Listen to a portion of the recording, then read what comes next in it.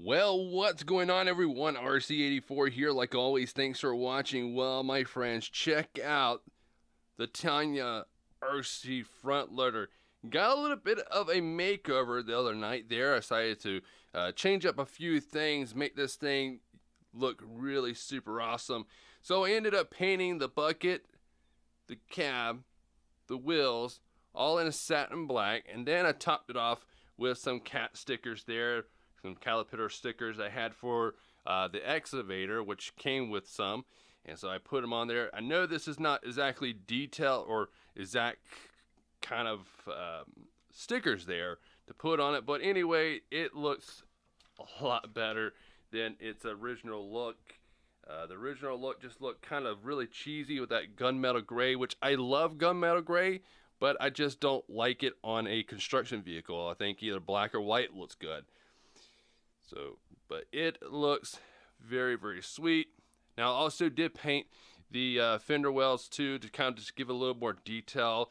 Also, one of the things I did here was I opened up the window there and uh, have my little Jose in there running the the front loader. And I was kind of looking at this part because it made no really sense.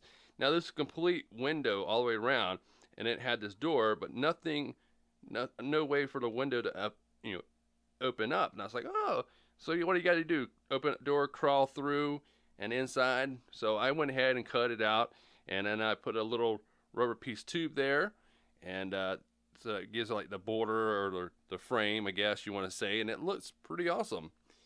I'm very surprised with the vehicle.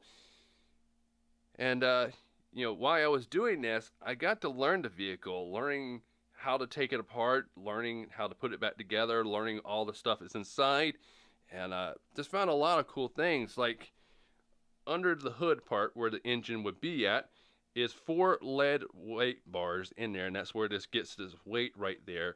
There's those four lead bars in there. Also in the excavator as well, there's four lead bars in the rear of it. So that gives it a little bit of weight there. But uh, yeah, now, one of the other things I did was I disabled the front lights on the vehicle because that's one of the things I didn't like on the vehicle because when you move, when you go forward or you're lifting up and down or tilting your bucket, the lights will come on. And I didn't like that. I thought that just really took away from the scaleness of it and stuff. So I went in there and I disabled it, which was very easy because this is on another V4 motherboard uh, and it has all plugs in it so you just pull the plug and the lights shut off. So now I don't have to worry about those front lights coming on anymore. So that's be good. But other than that it looks just amazing.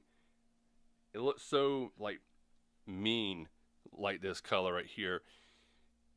Now I do want to say that this is kind of a like a scale replica of the Liebherr 5 580 or 583 uh, front loader. Now I know Cat Caterpillar doesn't make anything like this, or they might make something like that. I'm not exactly sure, but I know that these stickers are not, you know, exact to this type of vehicle, and that's okay. But at least I am a little bit different. I always like to be different on uh, when I customize my vehicles. I like to do it to my my way, but.